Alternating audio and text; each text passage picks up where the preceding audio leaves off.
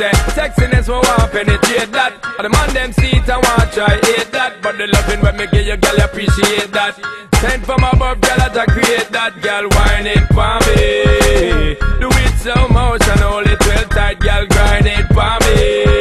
My earring is from Burlington Coat Factory. It's a threaded black and silver drop earring. It's really cute. And my shirt is from Ross. It has this really nice applique detail on it. And it has these three tiers right here which brings a lot of attention to your smallest part of your torso. It makes you look a little bit thinner. and here's my pants. Got them from Torrid. Definitely not my favorite pants. They are not forgiving at all. Here are my shoes. Got them from urbanog.com. Really, really cute and dainty and girly.